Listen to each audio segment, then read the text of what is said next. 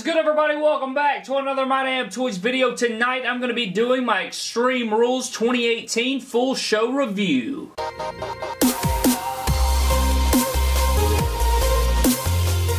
Alright guys, getting straight into things, I'm not going to be covering the pre-show. Sanity did, however, beat the New Day in a tables match. I'm very glad that Sanity did pick up that victory, but uh, that's all I'm going to say about that. So now that we've covered that, guys, let's get into the main show. So to start off the main show, guys, we had the Raw Tag Team Championship match between the Deleter of Worlds versus the B-Team. This was nothing more than just a, your typical Raw Tag Team match. You know, this feud has been literally nothing. Nothing about this has been very interesting, you know, besides Bo Dallas and Curtis Axel dressing up like the, leaders of worlds. They've literally won every single match against Matt Hardy leading up to this. And uh, at the end of it, guys, we have brand new Raw Tag Team Champions in the B Team. So the Deleters of Worlds are no longer undefeated. They have lost their Raw Tag Team Championships. And uh, we have new tag champions in the B team. So the B team walk out of Extreme Rules and Pittsburgh with the Raw Tag Team Championships. Very unfortunate, and I did not expect this at all.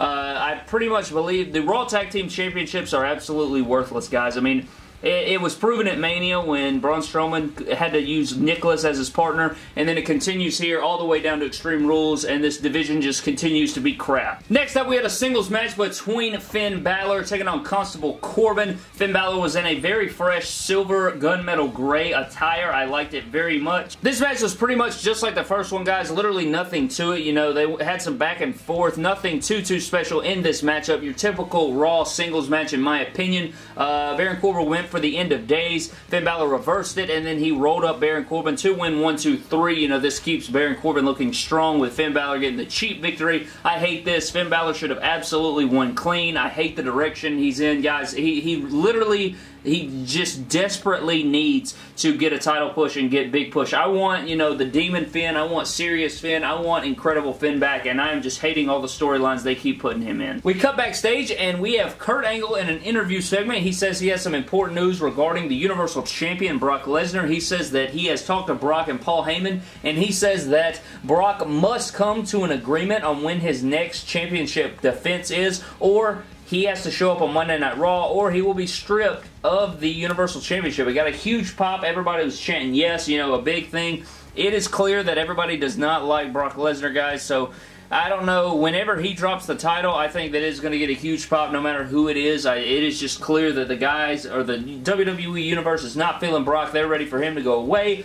But, uh, yeah, we actually have some info on Brock Lesnar. Cut to the SmackDown side of things backstage, and we have Team Hell No and the Bludgeon Brothers getting in a fight backstage. Uh, Team Hell No was getting assaulted. Uh, Daniel Bryan was thrown into a garage door. Kane got his leg smashed in a door by a hammer from Eric Rowan. So, uh, you know, Paige and some referees come over, and she's like, I need some medical help over here right now. And, you know, they're checking on him, and this totally made me think, you know, Kane's no, there's no way Kane's competing tonight. Maybe Daniel Bryan's going to have a surprise tag team partner, and we would later find out what would happen. Next up, we have the SmackDown Live Women's Championship match between Carmella and Asuka, and my god, I did not care about this match, guys. I mean, just Carmella's awful as champion. I cannot stand James Ellsworth.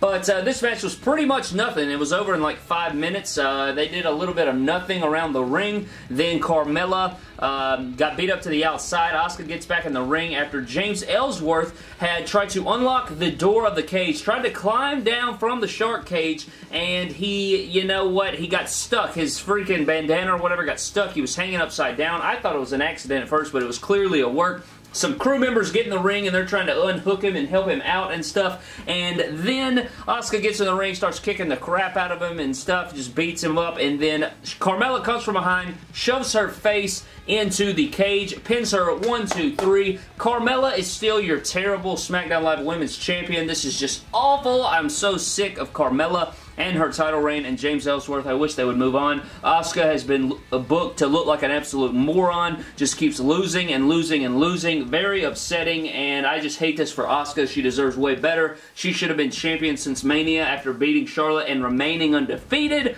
But you know what? F it. I, I don't care. This division's terrible just as terrible as the Raw Tag Team division. So, uh, yeah, we're moving on to the next one. Next up, we have the United States Championship match between my boy Jeff Hardy taking on Shinsuke Nakamura rocking the black pants on this occasion at Extreme Rules. This matchup I was looking forward to so much, guys. I was like, Shinsuke and Jeff Hardy, this is some good stuff. Take my money. And then they disappoint us, guys. The match starts, or before the match even starts, referee's not looking. Jeff Hardy gets low blowed by Shinsuke Nakamura. Shinsuke turns around and acts like, you know, I didn't do anything. The ref's like, what happened? Shinsuke's obviously like, I don't know, whatever, whatever. And then the bell rings. Kinshasa to Jeff Hardy. One, two, three. That's the match. Literally like two seconds long. Very disappointed in that. I thought that was absolute crap. Um, I just am not a fan of that, guys. I really wish they would have let Jeff Hardy go. But anyways, your new United States champion is Shinsuke Nakamura. Shinsuke would be celebrating in the ring, you know, uh, after the matchup, and then bam, my boy Randy Orton does return. He comes out to the ring. Everybody's like, oh snap, Randy Orton is back. He's about to beat the piss out of Shinsuke Nakamura. What is about to happen?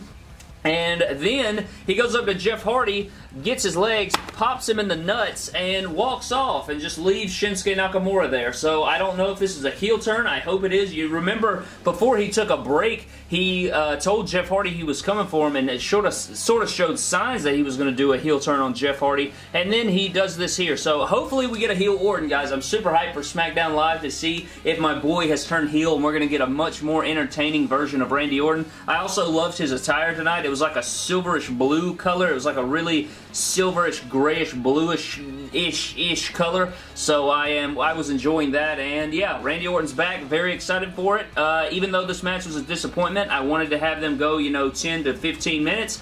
But Randy Orton is back, but that does not, you know, distract me from the fact that this match was not a match. Next up, we have the steel cage match between the Monster in the Bank, Braun Strowman, taking on Kevin Owens. And uh, this wasn't very much of a match, guys, but holy crap, it was very entertaining. I found myself very interlocked. This was definitely the best match thus far, uh, this far in the night. You know, Kevin Owens did a lot of cool stuff like Kevin Owens does. One of my favorites in the company, hands down, guys. He's just so entertaining to watch. He proved it again tonight. He's just an absolute beast beast. But, uh, you know, they had some good back and forth. You know, uh, Braun Strowman was like, you say fight anyone, but you're a coward. You won't fight me. I thought that was great. Then Kevin says, F it, goes right at Braun. They were hard-hitting for a while. Then the big moment came when Kevin Owens would handcuff Braun Strowman to the turnbuckle. So he handcuffs him to the turnbuckle, starts beating him up. He would get choke slammed, get back up. Braun still can't get out of the handcuffs. Uh, Kevin Owens tells Braun Strowman to suck it, DX style. Blows Braun Strowman a kiss, CM Punk style. Climbs to the top of the cage, about to escape. Braun would then break the handcuffs loose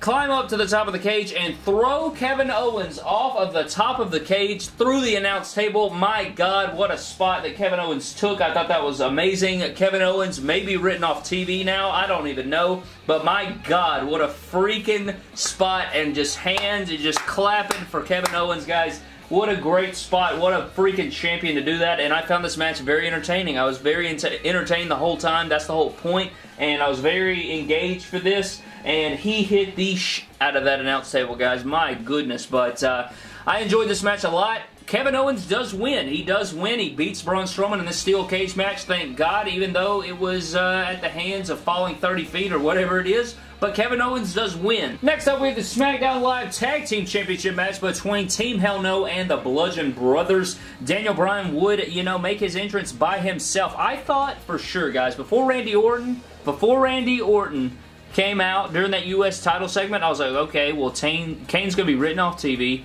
and Randy Orton's going to return and help Daniel Bryan. I don't know. I just that, that was just the thought that went through my head, but um, that did not happen. Uh, Daniel Bryan came out and fight alone. It was like a handicap match, Bludgeon Brothers versus Daniel Bryan. Uh, again, nothing special about this match, guys. It was a regular SmackDown match. Nothing too, too exciting. Uh, uh, you know, it was really nothing. You know, Daniel Bryan ended up getting beat up by the Bludgeon Brothers later on. Then out comes Kane. His music hits. He's got a boot on. He walks out of the ring, gets the hot tag, hits a couple choke slams. Luke Harper, he uh, was trying to counter Kane. He kicks Kane in the wrong leg. He doesn't even kick him in the injured leg, and then Kane sells the injured leg. Thought that was a little botch right there.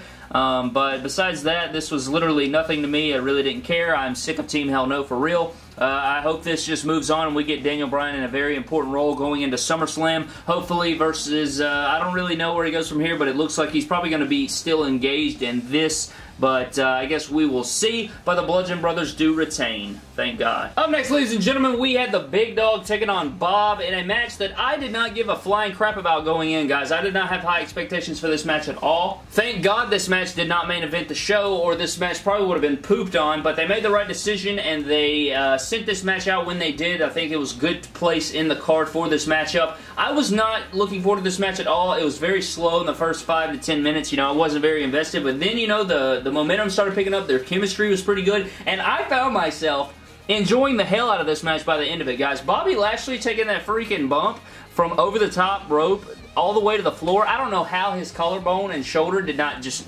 just get destroyed into powder, but somehow Bob was fine. Uh, he literally dropped so freaking far and landed on his shoulder, guys. I thought he was done. It was hard to watch on replay multiple times, but Roman Reigns gets pinned clean by Bob. Bob Lash. Bob Lashley pins Roman Reigns. One, two, three. I predicted this. Uh, I think there are rumors going around that... Uh, Vince McMahon wants to build sympathy for Roman Reigns. He wants the crowd to feel bad for Roman Reigns, to, to you know, like feel for Roman Reigns that oh he can't get it done, he can't get it done. They want you, they want the universe to feel bad for him, and I don't think anybody felt bad, guys. I think everybody was popping for the match, and they were very excited that Bobby Lashley won. So I don't know. Uh, that was definitely Bobby Lashley's best match since being on the main roster. He did a uh, belly to belly uh, to Roman over the announce table. I was very, very excited uh, for this match. By the time it was over, guys, I did not expect anything from this matchup but they shocked the hell out of me, and I'm very glad that they did. And uh, yeah, I, I, I, was completely shocked. Enjoyed this matchup somehow. I don't, I don't even know what to say. Next up, we have the Raw Women's Championship match between Alexa Bliss and Nia Jax. You know, this is an Extreme Rules matchup, the only Extreme Rules matchup on the entire card, believe it or not thanks WWE. But Mickie James and Natalya would be out there. I don't even know why Natalya and Mickie James were really out there, but Mickie James was in Alexa Bliss's corner. Uh, Natalya, for some reason, in Nia Jax's corner, obviously just to balance things out.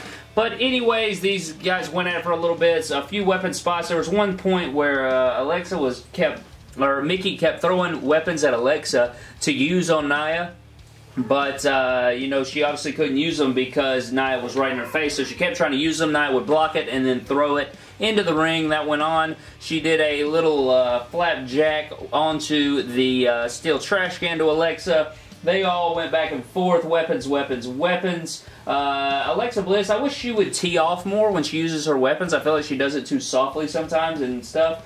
But uh, anyways, Ronda Rousey would eventually jump the barricade and chase after Alexa. She beat the crap out of Mickie James, by God. Uh, and uh, they beat up Nia Jax with more weapons after Mickie James beats uh, Ronda Rousey with a kendo stick. Ronda Rousey would then uh, be out for the match, and then Alexa Bliss would hit Nia Jax in the stomach with a chair very softly, DDT her head onto a chair very softly and retain the championship. Uh, I do not like this feud. I, I'm so sick of these two fighting. I'm so sick of just, I just want Ronda Rousey versus Alexa Bliss. Let Rousey get the championship and let's see what we can do going forward. But anyways, uh, Alexa Bliss does retain the Raw Women's Championship. Up next with the WWE Championship match between the phenomenal AJ Styles taking on Rusev Day. Rusev and Aiden English by his side. Thoroughly enjoyed this matchup. I mean, what do you expect? AJ Styles taking on Rusev, two of my favorites in the company. Aiden English is a great sideman to Rusev, and I absolutely enjoyed this one. You know, uh, after they got out of first gear, it was nothing but just a great matchup, great uh, back and forth between these two. I thought it was an excellent one. I, I loved the finish. I loved how how strong that Rusev was booked. He looked great. Uh, I love that it took you know a turnbuckle shot in the corner as well as a 450 splash as well as a phenomenal forearm. So they definitely made Rusev look strong in this loss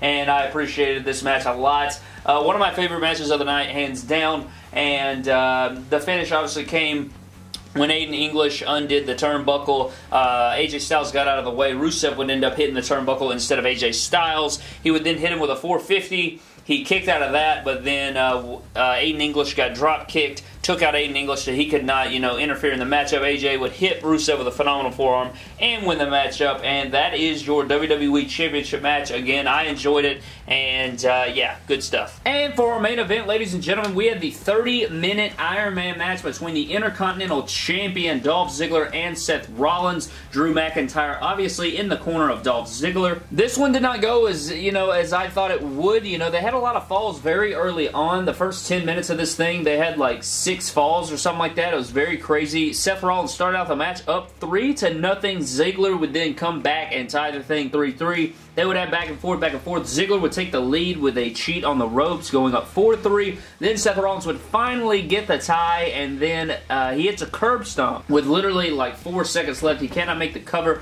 Therefore, the match is over. Dolph Ziggler retains the championship. Kurt Angle comes out, however, and is like, no way, bro. We're not ending it like this. We're not going to end in a tie. Then out comes, uh, you know, ring the bell, next fall wins. Uh, then Drew McIntyre would appear on the ropes, distract Seth Rollins. Seth Rollins would hit him with a knee. Zigzag 1 2 3. Dolph Ziggler wins like 10 seconds after Kurt Angle left. So I don't know, man. I thought Dean Ambrose for sure was going to return and, you know, do a heel turn or something. I thought for sure Dean Ambrose would be at this show. Uh, that's the reason I thought that, you know, this was the main event. I thought for sure that Dean Ambrose was going to return just because this match was main eventing. Just be, if, uh, since Dean Ambrose did not return, I feel like the WWE Championship probably should have went on last.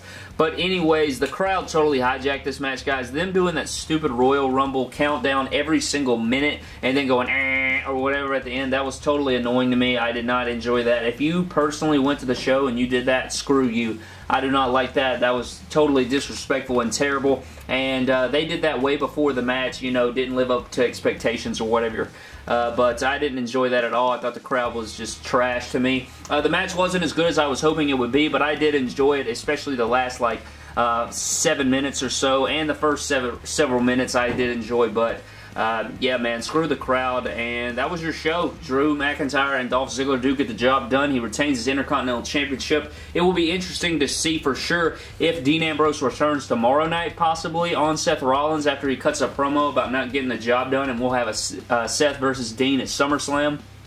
But uh, I don't know who's in line next for the Intercontinental Championship. Probably Drew McIntyre turning on Ziggler and having, you know, that be the Intercontinental title match. I'm not sure. I guess we'll have to see. But Dean Ambrose did not return. The show was lackluster at best, guys. I didn't uh, I didn't think it was that great of a show. You had your pros and your cons, but I literally wouldn't grade this thing above a C minus or C at all. It just, it, it, I don't know. There wasn't a lot of good stuff in my opinion. And uh, that was pretty much your show. But that's going to do it for this entire Extreme Rules 2018 review, guys. Thank you so much for watching. Uh, comment down below what you thought of the show. Uh, definitely look forward to Monday Night Raw tomorrow night. Maybe it'll be better than the past few weeks. Subscribe to the channel for more epic WWE figure-related videos. Follow me on Instagram and Twitter at MyDamnToys, and I will see you guys in the next video. Thank you.